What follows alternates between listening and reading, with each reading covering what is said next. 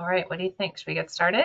I think so. Five minutes past the hour. I think it's time to to get going.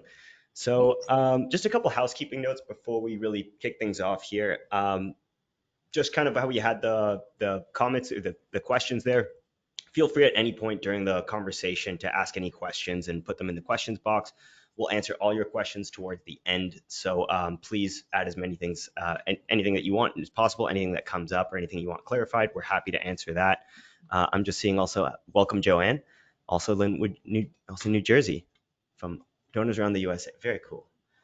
Um, we will send this recording to everybody who registered. So if for any reason you need to hop off or anything happens throughout, we will send uh, over this recording as well as any other links and reference materials, which we'll have some towards the end that Sara will be sharing, uh, as well as a, uh, a brief survey. As soon as uh, the webinar ends, you'll get a survey. It's literally five seconds. It's one question. It really helps us if you could uh, just take that time to answer it because, you know, we want to make sure that we're offering the best content for, for you all. And if you could just take that time, that really, really helps us out. So really appreciate your time if you could get to that. So housekeeping aside, um, we can get into a couple introductions. So uh, first of all, my name is Sebastian Arciniega. I'm a partner manager here at IATS Payments by Deluxe. IATS is a payment processor dedicated solely to serving nonprofit organizations of all sizes. Uh, in my role at IATS, I have the fortune of speaking with and learning from nonprofit industry experts in fundraising, technology, and strategy. And it's, uh, it's my privilege to be able to share these voices with our audience to continue growing our community. So today I am joined by my good friend and fundraising expert, Sara Hoshooley. Sara, thank you so much for joining. Uh, I've been really looking forward to this conversation. Thanks, me too. Thanks for having me. Yeah, thanks for joining. So to get started, uh, why don't you tell us a little bit about yourself, your sort of story getting into fundraising, into the position you are at are right now, and uh, tell us a little bit about Charity Shift and, and Connect for Good as well.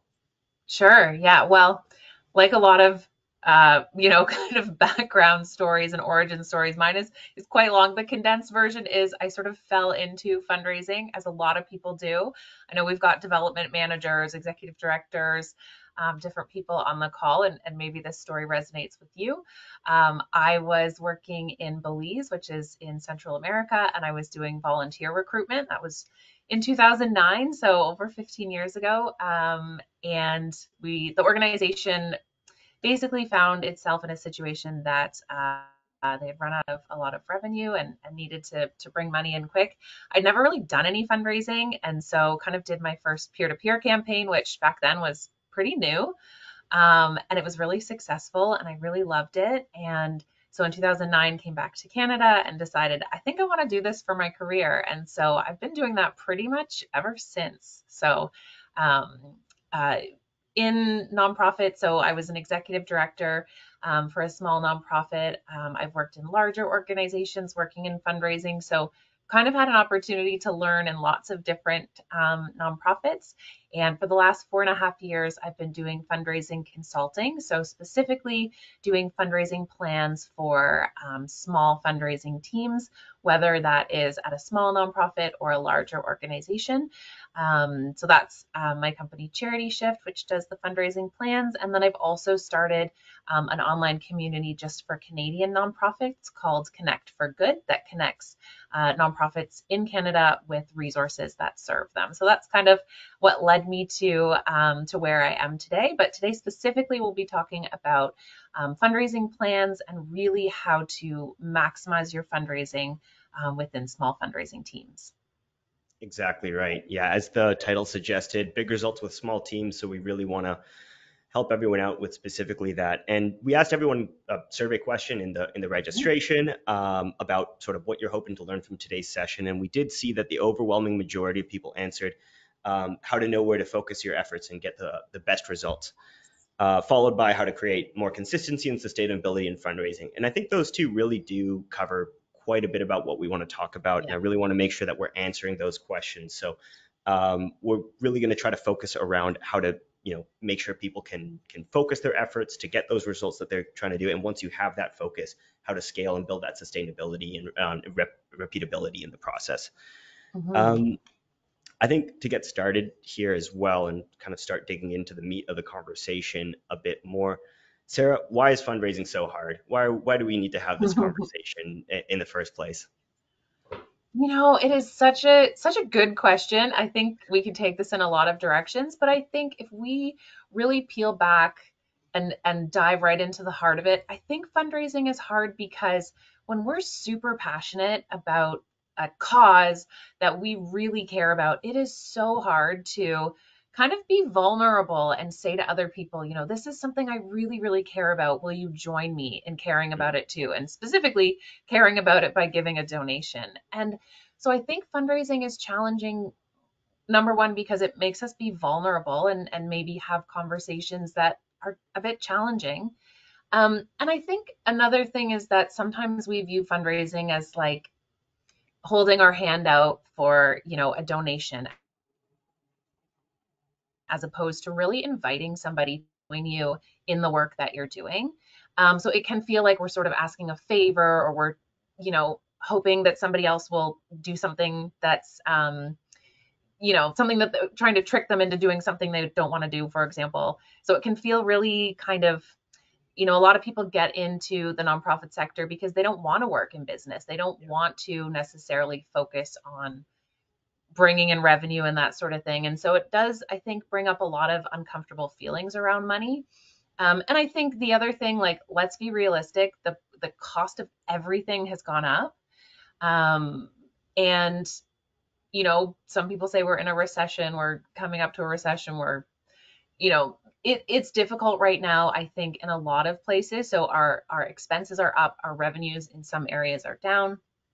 I think during COVID, and post COVID, there was a lot of additional uh, government funding, a lot of um, individuals who might have had some surplus revenue that were um, donating more to charities than they normally did. And a lot of that has, you know, especially the government funding, that's dried up now um, for the most part. A lot of individuals, um, you know, might have might have lost their jobs, might have not have the same amount of, of income to donate to charity. So we're seeing in this moment in time, I think this really interesting um, time where our expenses in nonprofits have gone up significantly and our revenues have not sustainably matched.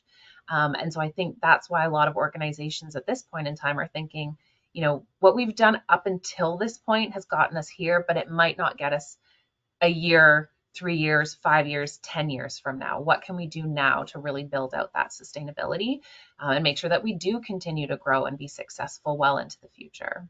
Yeah, and I think that's a, a, really great point. You know, just in general, talking about just the changing environment that you're working in as a fundraiser, as any organization, really. Um, what works today won't work tomorrow necessarily. It's not guaranteed to work tomorrow, and works to, works works tomorrow is not guaranteed to work for the next day. So how do you keep in mind that sort of flexibility and adaptability to all these changes? Because of course, this isn't the first time we've had recessions or anything like that. So how have you, you know, what are some of the ways that you see organizations adapt to these sorts of things and respond to these pressures so that they can continue to succeed in these in these more difficult times compared to what was what came before? Mm-hmm. Oh, such a good question. I think one thing about fundraising that sometimes we forget is that it is a consistent process. It is mm. something that, you know, unlike when we might be looking at um, grant funding, um, you know, we might spend a couple months writing a really big grant and we get the funding. Um, that that certainly, you know, definitely happens. But but for the most part, fundraising is really about day to day consistent actions. And let's be honest, most organizations are maxed out in terms yeah. of um, you know capacity and and uh, and that sort of thing so i think sometimes those day-to-day things that really build consistency build momentum build those sustainable practices sometimes fall by the wayside because they aren't those urgent things that are really keeping our attention. Um, I think that's one thing. I think the other thing, and I'm sure those of you on the call who have done fundraising for a while, there's something really interesting about our profession, and that is that everybody thinks they can do it, right? Everybody thinks that they you just got to talk to Bill Gates or you just got to get another grant or you just you just got to throw a gala.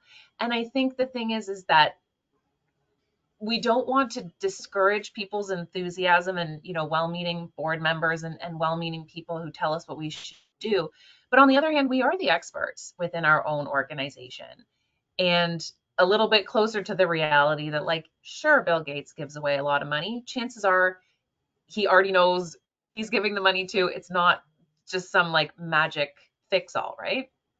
And so I think that also kind of makes fundraising difficult because it can feel like everyone around the organization is giving you all of these different ideas and all of these different strategies. And sometimes you will do them. You might take on, you know, a local uh, fundraising event. You might take on a new idea that maybe in your heart, you know, you probably shouldn't, but because somebody brought it to you and you feel like, oh well, you know, it's a board member or it's it's somebody that we should um, you know, try and partner with. And so you do get stretched in so many different directions that it makes sense that our small teams are struggling because we're trying to do way too many things at once. Um, and so one of the things that I do when I'm working with small teams is um, we do this activity that we take a look at like where is the money coming from if we look at all of the fundraising efforts that we have where's the majority of the fundraising uh, revenue coming from? And then on the other hand, where is the majority of our work, our time, our volunteer time, our staff time, even our money? Like, where is that investment happening? And do those two things align? Um, and it's a really quick, eye-opening way to say, wait a second, we're spending all this money on, you know, a fundraising event that's only bringing in a small amount of money. What can we do to um, use less resources, less staff time, less less money, and really maximize um, the revenue that that's coming in. I mean, all those were just really excellent points overall, and you know that exercise sounds really valuable to to see where people are focusing their time. I mean, I'm a believer in sort of the Pareto principle that 20% of your efforts usually produce 80% of your results overall, and being able to take a hard look and analyze uh, what you're doing is really going to help you understand what works um, for your organization. Um, but I want to touch that. I want to kind of mesh that in with sort of the, the number two answered uh, question, which was about consistency and sustainability as well, because we've also, mm-hmm. you know, talked about how these things change over time. So when you're doing an exercise like that, how do you bring in elements of consistency and sustainability? Like, because that might work for, you know, a short term. What do we, what are some of the things that we can offer that are going to help people have that sort of long term um, value out of that sort of conversation as well. Because you know people change in organizations things change rapidly all the time the world changes uh, rapidly. So how how are what are some some ways that people can think about that? And what why are do people maybe stray away from core fundraising goals? Mm-hmm. Yeah, so when it comes to consistency, I, I don't think it's lack of effort or lack of mm-hmm. intention. I, I genuinely think it's people don't have the capacity. Um, one of the charities that I work with, a strategy that they've taken on board that has really, really paid back a lot in terms of their success is they've committed to sending out a weekly email to their um, their audience. So their audience includes both donors, people on their email list, um, they also do a blog and they also do posts on Facebook. So they've committed that every Wednesday, everybody who cares about our charity is going to hear from us one way or another. Mm-hmm. And it usually is one story. Um, if we're doing any sort of fundraising, it is one call to action. Um, and so I think that's really so in terms of consistency, it's every week. It is just a thing that we do every week. And yes, it takes time, but it does mean that I think our donors and our supporters, when it comes to thinking about what charity they want to support, we've been in touch with them in the last seven days, right? Mm-hmm. Whether whether they're opening all of our emails or not, they at least know that we're getting in front of them. Um, and I will say, for some of you listening to this, you might think, oh my gosh, every week, that's impossible. And I get it. Um, if you can do once a month, that's great. If you can do every two weeks, that's great. And one of the ways that you can really easily do that is, and and I did this when I was an executive director as well, that we would do our, you know, monthly newsletter and everybody would contribute to it of all these different things that were happening. And once a month, we'd send out a monthly newsletter that would have like 14 different stories. Mm. And we'd be asking people to like bring in their recycling so that we could, you know, cash those in and sign up for this event that we had and make a donation and here's an introduction to our new receptionist. Like it was literally everything. And hardly anybody opened them, and they certainly didn't donate. And I think that we have this idea from historically when a newsletter used to be a printed document, right? That we would mail out to our supporters to say, look at all the amazing stuff that we've done. But we know that email doesn't work that way. And we also know that people's attention spans these days, like, they're not very long. And so what I would recommend is if you're already doing those newsletters, break out each of those stories and have them in one contained item. So if you're going to talk about location um, of your program that just opened, that is one email, that is one story. It just has that, and that's it. And once you're taking all of that content that used to go into, you know, a 14 piece monthly newsletter and you start breaking out all of those pieces, it it does become fairly easy um, to kind of have that that content so that you do have um, information to share more regularly. That is so. I, I just went through kind of a little bit of an arc there, kind of a dramatic okay. Because when you said weekly newsletter, like I sent out a monthly newsletter to the partners yeah. that I work with, and I was thinking, yeah. weekly, like who yeah. has time to do that? But then, you know, following what you just said and just following that story, I mean, if I just broke up what I had in the monthly one into, you know, different things, like mm-hmm. I went mm-hmm. from being very anxious to being like, oh, actually, yeah, that's doable. So, you know, yeah. um, yeah, no, that's, that's a, that's a great advice overall. That's really, I mean, worthwhile. And, and I think, you know, that kind of speaks to the, the value of, um, you know, tying this back to the idea of, you know, finding the Bill Gates or the, everything like this and finding the one-off solution really where it kind of comes down to and what anybody in fundraising is is I'm sure nodding along to is that it's about showing up and it's about being consistent. And it's not always going to work the way you want it to, but it's about just week after week, just keep trying, keep doing new things that you think are going to be sustainable for your team and doable for your team that you're going to be able to maintain. But it's that idea of just just being there for your constituents mm-hmm. and just showing up and just showing that you have genuine passion for what you're doing. Um, I mean, I think that's a hard conversation to communicate as well to some people because some people, when they don't see immediate results or don't see immediate value, I mean, I think that can be very discouraging as well. Mm-hmm. So, how do you talk people through, you know, the long term aspects, especially when maybe there's short term deadlines and short term necessities that people have, like either to to pay certain teams or pay certain, you know, things that kind of come up in, in life, because uh, those two things are definitely not at odds with one another, but can seem hard when putting out fires is just so urgent. Yeah. That's that's what's so difficult. And I'll be honest, I do have nonprofits that come to me and they say, you know, we lost a big funder.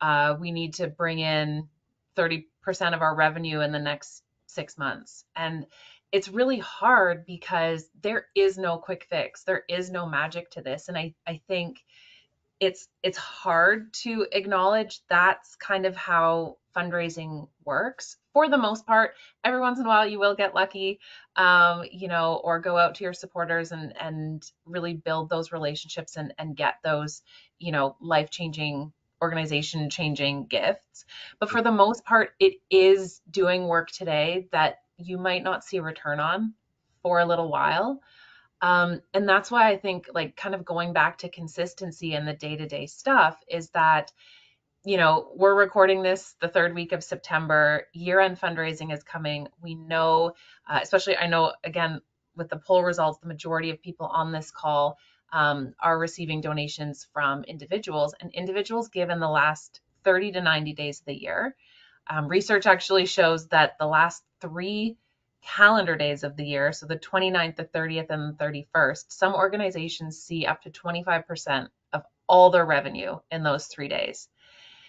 And so we're coming up to a really, really busy time. And the mistake I see a lot of organizations making is they think, okay, we'll do a Giving Tuesday campaign. And I love Giving Tuesday, nothing against them. But Giving Tuesday this year is December 3rd. That means that if your donors and your supporters only hear about uh, only hear from you starting December 3rd, that gives them 28 days to the end of the year to make their donation. And so that um, so I'm glad that we're recording this now because it also means that people can sort of get started in um, contacting their donors and and you know kind of getting in front of them before that busy year end season. Mm-hmm. And I think one thing that's that's interesting, you know, talking about that as well. It's like, and we're talking about the consistency of communication and so forth. Whether or not you see donations come directly from either an email or a you know social media post or anything like that, all that seems to be you know leading up to maybe if your giving is going to be focused in the last few days of the year. If you're just starting to have those communications at this point, then you have to catch people up all the way up to that point. Whereas if you're having that consistent communication, it's going to feed into that and these things are tough to measure overall. And I mean, before we move along, I mean, I did say we're going to save questions to the end, but there was one that was particularly relevant to this topic that Tanya yeah. just asked. Um, that was just asking for recommendations. If there's a program you use for these email communications, uh, whether it's MailChimp, Constant Contact, but just any recommendations of what anything works best in your experience or how you would sort of um, frame a recommendation around using a tool or using a specific solution to make these, mm-hmm. make these things happen. Yeah, Constant Contact and MailChimp, both of those I love. Both of those are great systems. Um, I would say, you know, kind of play around and, and see which ones are best for you, but both of those are excellent. Um, I think any sort of email system where you are able to um, specifically personalize. Um, so that's, you know, when you're getting an email that says, Sebastian, will you you know support our organization whatever it happens to be but the you know you can customize the um, the subject line to add somebody's first name um, as well as tracking both your um, open rates and your click through rates. So, how many people are opening um, and how many people, more importantly, are clicking on things within the email. So, of course, that's not something you can do, um, I don't think, anyways, if you're just using like Gmail or Outlook. So, mm. it's good to invest in a MailChimp, in a constant contact. Um, both of those I like, but again, there's there's plenty of different ones out there um, that all kind of have the same basic features um, so that you're able to um, to really kind of keep an eye on that. There are um, depending on the system that you're using for processing your donations, there are some that integrate better with others. So if you are using a uh, a CRM for tracking your donors, it might be worthwhile going to the CRM company and saying which you know mail service providers inter, um, interface well um, with yours, and there might even be a discount as well. Sometimes if you go through your um, your CRM, so worth exploring for sure. Mm-hmm. And I do know some of these tools also have specific rates for nonprofits or free licenses yeah. for nonprofits. So always good to look um, if that's something that people offer. Definitely super helpful. No need to. I, I mean, um, and uh, if you're kind of interested in sort of system selection and these sorts of things, we did a conversation. It's on our YouTube, on the IATS YouTube channel a few weeks ago about technology strategy and measuring impact. So if you're really interested in finding out, you know, how to set that strategy ahead of time, definitely recommend that conversation. Um, had a lot of fun on that one as well. Uh, we've gotten a lot more professional since then, but uh, um, but definitely, um, I think that's another good resource if you if you're interested. Would recommend checking that one out because that one's very focused on making sure that you set the strategy in place so that you know um, you're choosing a solution based on a direction or a certain metric that you want to obtain from that. So um, I think always important to to choose it intentionally based on that. And yeah, that definitely helps. And I don't want to get too into that in this conversation today. Um, because at this point, I want to focus and sort of pivot a little bit into some mm-hmm. solutions. Um, I think, I mean, important to to note, and I'm sure everyone on this call is, is aware, but I want to, you know, reiterate not every solution is going to work for everybody. Everybody needs to discover these things as, um, them, themselves through process, and because everybody's context is a little bit different. Yeah. That said, I would love to hear some of the the best practices or some of the things that you most commonly see uh, have the biggest impact with fundraising organizations, so that we can start kind of giving some of those ideas or those those things that people can start incorporating in their work. Mm-hmm. Yeah. Um, so I think the first thing, and this usually surprises people, is um, to really limit. So if you're creating a fundraising plan, and, and this is what I do with my clients, I, I give them, um, we work on a 12 month customized fundraising plan together. And the most goals we ever have is three, maybe four goals. And usually people are quite shocked when I say that because typically fundraising plans have I don't know, 20 goals of, oh, we're going to do this, we're going to do that, we're going to do all these different things. And again, going back to kind of what we talked about at the beginning of our conversation, you really get spread thin, right? Especially as a small team, you're doing 10 different things and it feels like you're always fundraising and your donors kind of get tired of hearing from you because you're always asking for money in different ways.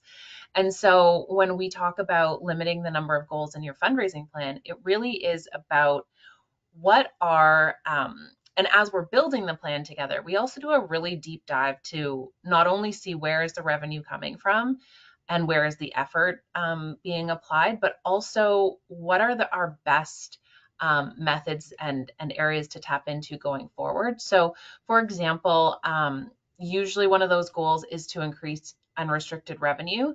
Um, as we know with with grants, uh, with more you know campaign and, and program specific um, fundraising, it is really tied to that particular outcome, especially grants.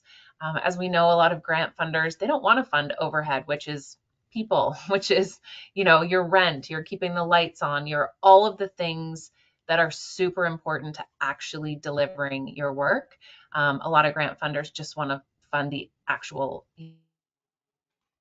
um, expenses. And so that unrestricted funding gives the flexibility to say, you know, we need to give so and so a raise or our rent is going up or you know these these um, expenses that you know a funder might consider overhead when you have unrestricted revenue coming in from from various sources it means that you can spend it in the best way um, for your organization so always having that unrestricted um, is super important as a goal. And then, for example, you know, I've seen organizations where they've tried and tried and tried and tried to bring on corporate partners and they spend a lot of effort and it doesn't result in much. And so I go in and I take a look and say, well, maybe your organization isn't right for a corporate partnership, but what if instead it's right for, I don't know, a fee for service, for example, or tapping into, um, alumni, so people who accessed your services five or 10 years ago. Let's let's see if they want. So it's kind of taking a look at what are the places that we can invest uh, time and, and, resources and, and money to have the best impact, um, as opposed to kind of like spreading ourselves too thin and, and really being um, having our attention pulled in a lot of different areas. Mm-hmm. Focus is is absolutely key, and uh, mm-hmm. just making sure. And I think that um, really helps a lot with accountability and just making sure everybody understands what the goals and and what the um, what the organization is kind of working towards together. And you know, you can really bring different areas within your within your organization and and support one another, knowing that you have a very concrete goal that you're going after. And I mean, I think it is very tempting to be like, oh, but we also want to do this and we also want to do that mm-hmm. because you know we've all we've all done that. And we've all found ourselves in that situation. Um, but I think based on some of these these best practices that you've mentioned and some of these ideas, I think one of the things that could be interesting to do while we're uh, here, if anybody's feeling brave and wants to share a link to their uh, online giving page, we did see in the poll that the number one majority of revenue is coming from donations from individuals. So if anybody feels brave and wants to share uh, a link to their uh, donation page, maybe Sara, you could do a, a, bit of an audit and show what what works, yeah, what what are some of the suggestions. So if anybody feels up to it, if not, no pressure. Uh, but if anybody's curious, we can do that. If not, I've got an example up and ready to go that we can we can take a look at. But we'll uh, maybe wait a minute to see if anybody wants to have that overview. We'll promise to be it, it won't be it won't be too it won't be harsh.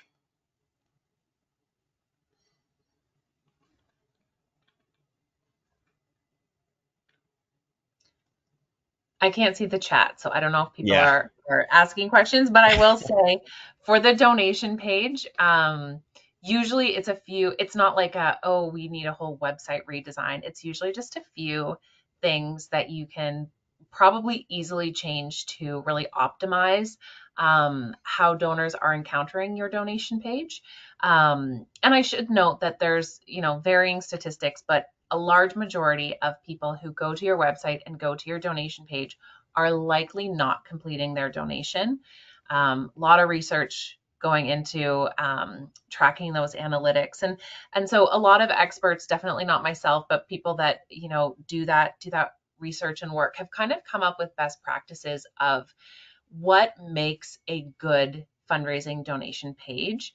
Um, and they they kind of you know break it out into into different themes. So that's what we're going to take a look at today. So if somebody does want us to do that for their page feel free to uh, put that in the chat. If not i think sebastian we've got one um, from one of our volunteers who's offered to uh, to share theirs. So this is a donation page from uh, someone on our team this is an organization called my artist corner great small nonprofit based uh, here in Vancouver, British Columbia, where I'm located. So um, just taking a look at their page right now, um, I know we've we've chatted with them and they've said, oh, but it looks like it's really old. It looks like it was designed in in well, sorry, Kate. I, sorry, Kate. That's your words, not mine. Um, so Sara, I'd love if you could go through it and tell us a little bit about what your initial thoughts are and what are some of the things that people can look at and take from this, and some of the things that people can just learn from overall. Sure. And I did want to note we we um uh, we're going to mention at the end, but I'll mention it now, is that I will, if you are interested in having an audit of your donation page, I will be offering just free 15 minute um, donation page audits if, if that's of interest. So Sebastian will share that link um, at the end because I do feel like it's one of those things that can be a bit of a quick win. Um, so uh, let me go through this page and, and you might even hear me say things that you can apply to yours right away. So number one, I would say I look across the top and I see all of the different um, categories. So home, art for sale. Yeah, thanks for highlighting there. What doesn't jump out to me is, is donate. And so mm. although it is best practice to have donate in the upper right corner well we notice that if you're if whenever you do online shopping and you'll probably see this now that i mention it the cart function and the purchase function is almost always in the upper right corner. And psychologically, that's where we're looking for information. So it's perfect that they have donate and also contact us in the upper right. The um, the one thing I would suggest for that is that donate, if it was in a different color, if it was its own button, something that really helps it stand out um, so that, again, when somebody goes there and they're ready to donate, they know exactly where to click. Mm-hmm. Um, the other thing I would say, so let's go down the page a little bit, um, where it says the tax receipts and all that information on the left, very important. Um, but because we read from left to right, that is not the most important thing for people to know in that moment. Um, so I would actually put that at the bottom. Um, it does kind of let people know this is legitimate. You get a tax receipt, all those good things that signal to a person this is a place I should trust. Um, but having it at the at the very bottom is ideal. There's also, you know, some older content in there, uh, you know, referencing 2022. So obviously, just kind of keeping it up to date. Um, I like that they, um, you know, have also mentioned that you can do e-transfer, so different ways to do things. I would say so where it says my art my artist corner is always looking for sponsors. I might put that in a different place. I think when we think about somebody taking action. If somebody has decided, I want to donate, we want to get them to this page and we want to make it as simple and as clear as it can possibly be. So let's scroll up to the top again. Mm-hmm. Um, so where it says your donation, um, the the part that says free forms by Zeffy, I know that's a, a company that uh, obviously does those free donation forms. I don't know if you can remove that, but if you can, that would be ideal the average person doesn't know what Zeffy is. They don't know what that means. And it's just a bit confusing for the average donor. Um, as well, uh, just a little bit down where it has the light bulb and then the did you know. If that can re- be removed, that would be ideal. It is important to let people know um, that they have the option to uh, give an administrative fee. So in this case, um, 10% of the donation is going to go to this company, Zeffy, to actually process the donation. So they're trying to encourage people to increase their donation by 10% to cover that cost. In my opinion, I don't think it's worded as well as it could be. And I don't think that's the right place to put it. Again, the average person doesn't know all of this like insider language. We know why that is that way, but the average donor doesn't. And so I do think it, it, it could be in a in a better place. Um, the donation amount, so where it says your donation and then it has dollar amounts, um, I'd be curious to know, okay, oh, that's perfect. So it actually shows what the donations help achieve. That's really, that's really, really good. I really like um, that too. Yeah, it's yeah, really nice. I think that's excellent. Yeah, I was, my question was going to be, I wonder how they landed on those amounts, but now we know it's because it's Yeah. an actual specific um, thing that they need. Is there? So I what I'm not seeing is so if I wanted to give seventy five dollars, how would I do that? Is there a spot I think here you can just, type it in? yeah, you Okay. can type it in. Perfect. Okay. And see, and it's not necessarily clear either that that is a thing. So I might come to this page and have already decided in my mind I want to give $75 and I look here and I go, "Oh, I can't give 75." And so it's just that bit of a mismatch of not necessarily being clear.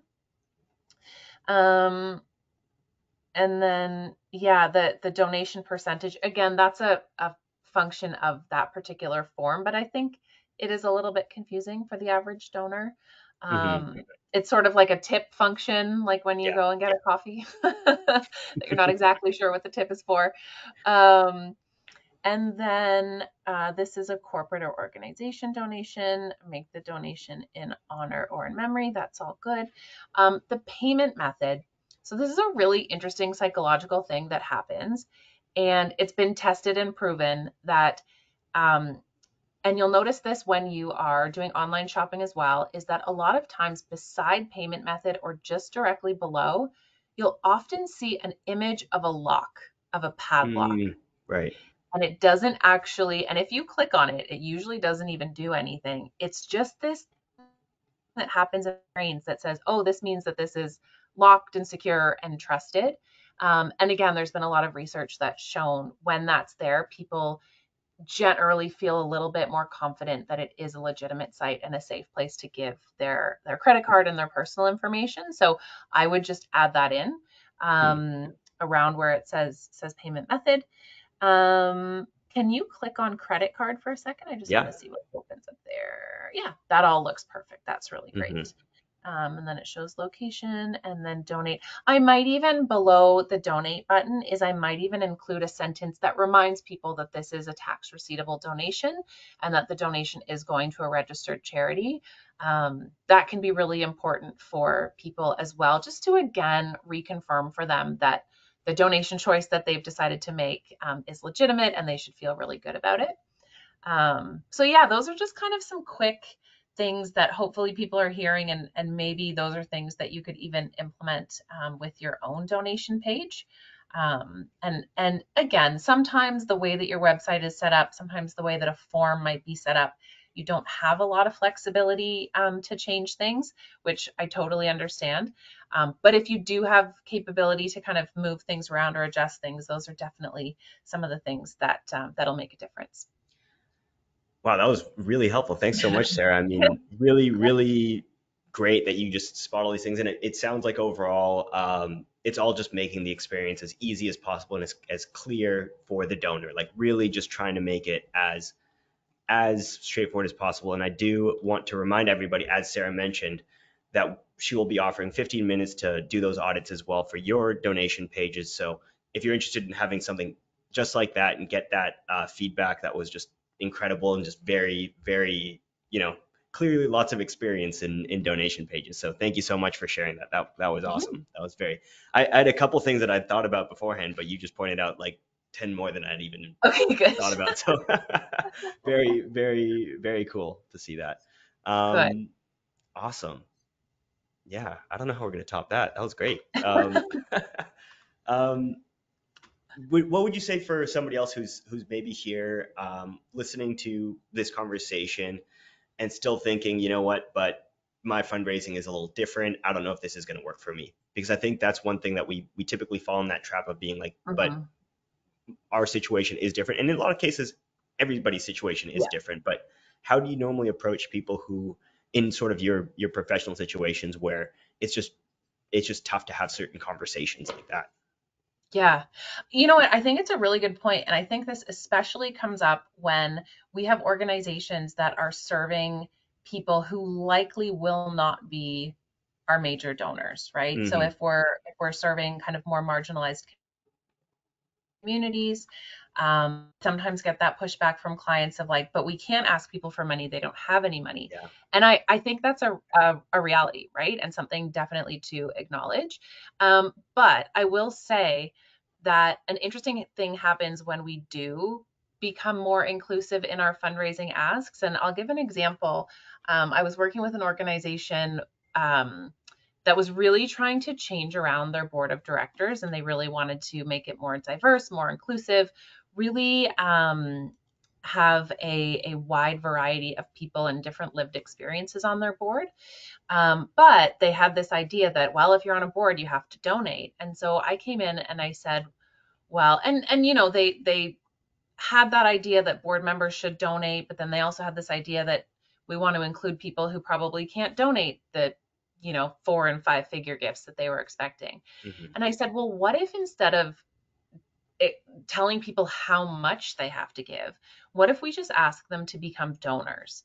And i think that approach can work really well because if we take a step back from it uh, for a second of like philosophically it's like who are we to say what someone can or can't do right? And so if somebody is able to give five dollars a month and that is really really a stretch and really really meaningful for them. It's like who are we to not even give them that opportunity to give back to maybe um, a cause that's really important to them or maybe something that they're really passionate about or some you know possibly an organization that helped them when they needed it. And so i do think that sometimes when we say oh we can't do this or we can't ask these people or you know our organization doesn't work that way that is often the reality but mm-hmm. sometimes it is just kind of looking at things a little bit differently um, to see like is that actually true is that the way that we've always done things we've always you know had people on our board who have a lot of money who have these big networks okay so that's how you have done it but mm-hmm. do you have to do it that way going forward um, so yeah just kind of you know taking a step back to see are there things are there blind spots and things that we're not necessarily um, looking at yet. I love that. I mean, always questioning assumptions. I mean, it's it's funny how we always find ourselves in in a certain way of thinking, and all of a sudden somebody tells you a different way. You're like, oh yeah, I can do it that way. I mm-hmm. think those are always great moments overall. And I think one thing that's also really great about what you're talking about and what it's brushing up on, and uh, maybe one of the last questions I want to ask with the time that we have. Um, that gets really into the idea of stewarding your donors as well and maintaining those for the long term as well. Because you know, when somebody does a one-time donation or even sets up a, a monthly donation, that's not where the relationship ends. It's not where you finish. You're like, okay, good job, we're done. So, mm-hmm. what's sort of the next step? How do you? What? Are, I mean, I think everybody's read the best, can find best practices, can Google that online and see lists of of certain things. But I'd love to hear from you and in your experience, what are some of those things that people maybe overlook, or some of those things that are that are particularly helpful when chatting with people who've already donated? And how do you maintain those mm-hmm. in, to, to contribute towards your fundraising goals? I'd say one of the um, easiest things to do, and I was going to mention this earlier when we were talking about email, but is when you have a thank you message that's going out to your donor. So somebody makes a donation and you're sending them a thank you, include in there something that encourages them to follow up with you. Mm. So one of the clients that I work with in the thank you email, it's, you know, thank you so much for donating to this organization. Your donation is helping blah blah blah. And then it and then it says in like bold letters in its own separate line, we'd love to know what inspired your gift. Why does this matter to you? And so what instantly happens is instead of people just like being given information, all of a sudden a conversation is opening up. And most people don't reply, which is fine. But the people that do reply, like you get these amazing stories um, that you can potentially use for content with with their permission if it's appropriate. Um, but you it also starts allowing you to see your own work differently. Um, and I've had that happen where we do that, and then somebody says, "Well, I give because you help this particular you know group of people and then you look at it and you say oh that's like 5% of our work. I can't yeah. believe that's what actually resonated with that person. But if it resonated with that person should we be talking about it more? And it really gives you this like instant feedback of what people really enjoy about what you're doing. Um so yeah it kind of starts that conversation. And the other thing that we do um little touch points. So if you're doing an annual report um, that you're sending by email, if you can print off, I don't know, 10% of your donor list and select it at random. Don't just keep going back to, you know, people that are giving the most, but um, maybe it's your monthly donors, maybe it's the donors that have been around the longest. Um, send it to them in the mail and maybe include like a little handwritten letter that goes along with it. Like those little touch points really, really make a difference. Um, and then finally, I would say also, again, a couple times a year, um, is to reach out to a small number of people on your list and ask them if they'd be willing to have a 15 minute phone or Zoom call. Um, with you and let them know you're not going to be asking for a donation. It's really just to hear from them about their experience with your organization and also why they've chosen to be a donor. Um, and again, those conversations can lead to so many interesting um, directions, but it, at the end of the day, it, it makes donors feel um, appreciated and kind of continues building that relationship. Totally. And I mean, what I love about all that as well is, you know, tying that into the point that we just were chatting about as well about questioning your own assumptions. Like a lot of times you mm-hmm. think your donors are giving for a particular reason, but unless you're having the conversations with that base as well, like you'll get so much more insight into why people give, what are the things that really inspire people and motivate people to do that. And I mean, we can have our hypotheses of what we think that is, but hearing it directly from them is really the best way to get that information. Mm-hmm. I mean, there really is no no other way to to understand that better. So, thank you, Sara. That was really great answer. Um, to close off, one of the questions that we asked on the registration for the webinar was for people to share their favorite fundraising tip. So I want to pick a couple of these and share them with you, and I'd love to just get your reaction on some of them to see, uh, you know, how you, you know, what your take is on it. So one of the ones that I I saw that I really liked was, and I mean, it makes perfect sense, but the worst anyone can say is no. So what are your thoughts on on that? Yes. Yes, actually, I was going to say this earlier. I'm so glad that somebody brought this up is that the thing with fundraising is that it's a numbers game. And I mm. think when you approach it with that mentality, so if you have, if you ask 100 people to donate, the default answer is no, right? You're going to have probably anywhere from 70 to 80 to 90% of people are going to say no or say nothing. And so keeping that positive mindset and understanding that no is the default I think it takes a lot of um, it takes a lot of negative feelings away. If you're expecting people to say no, the yes is the surprise and the yes is something to be celebrated as opposed to always feeling like, oh, everybody is, you know, not giving to us. Well, that's kind of the default answer. And the yes is the success. And those are the things that you really need to focus on and just kind of keep pushing through. And I think, too, when we're talking about especially email, even the best open rates, even if 60% of your emails get opened, 40%, it's like it didn't even exist. So keep mm-hmm. on like working through those numbers and, you know, resending to people that didn't open.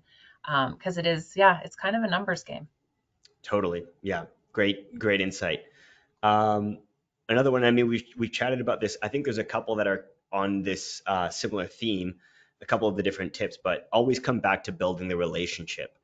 There's that one. There's uh, give a personal touch to your current donors. Yeah. There's deepen relationships and be authentic. Um, so to all these all these sort of relationship oriented, um, yeah, pieces of, of advice or tips. What what would your sort of thoughts be there? Yeah, absolutely. That's such a key piece of of fundraising in general. And I do want to mention because um, I know a few people said that grants are where the majority of their revenue comes from. And I think people forget that grants are also decided on by people. And so when you can build a relationship with a funder, um, that's always you know gonna gonna put you ahead potentially save you time so if you see a grant that looks like a good fit for your organization i always advise organizations to try very very hard it's not always easy but try very hard to find a contact at the funder and ask if you could have a quick 10 minute conversation to ask some clarifying questions or, you know, here's the program that we're running. Here's one paragraph uh, description of the, the program that we're running. Could I talk to you for 10 minutes and, and ask if this is a fit with your funding priorities? Anytime you can start to build a relationship with those funders, um, is going to put you that much further ahead. And you also might find out that it is not the grant for you at all. And so mm-hmm. you move on to the next rather than wasting your time on something that was never going to be a fit. That's, I mean, that's a great point. And there was just another one. The next one I wanted to bring up was be strategic and look for the right fit. But I think what you just said also is that's that's such a good one. I mean, and it goes back to your um, picking three or four goals tops, like Mhm. really just focusing and being very strategic and intentional with what you're uh, with what you're looking to do. So, I mean, all the all the thanks you everybody who shared a, a favorite fundraising tip. They're all really really great and uh, appreciate it. Also so a couple people were having some issues with the audio, so apologies for that. Okay. Uh, and yeah, if if if you did if it did break up or anything, we'll be sharing the recording as well via um, it, it'll be on YouTube. So if there's anything that you missed there that you want to go back on, we'll have that in the recording as well. Um, last thing, Sara, where can people learn more? What do you have to share to the audience? What what can people kind of get and learn from you? And what is it that you want to share kind of to close off? Yeah, sure. So uh, my website is charityshift.ca. So definitely take a look if you are um, looking for a fundraising plan uh, sometime in the next couple months. Definitely happy to um, to chat with people. I do have free um, two free things that I'm offering, no strings attached. I'm just kind of giving them. Um, one is a list of si- 16 tasks that your board members can do to help support your fundraising, um, and those are just tasks that over the years have come up um, so that board members can can do things that are meaningful that are really going to help push your fundraising forward that might be things that are a little bit outside of the box of what they might have done in the past um, and then the other thing because we are third week of september we're ramping up to um, holiday and year-end giving season um, is i do have a free planning guide as well uh, that literally starts in september so timing is perfect um, and kind of goes through week by week of the different tasks that uh, you could be and should be doing um, in order to have a really good uh, year-end fundraising campaign. So both of those are available. I think, Sebastian, I think you're probably going to send the links in the follow-up. Yeah. Okay. Perfect. Yep. Um, yeah, yeah, but exactly. Yeah, great. And I'm always happy to chat with people um, on LinkedIn, or um, if you want to book a meeting um, through my website, you can do that as well. Awesome.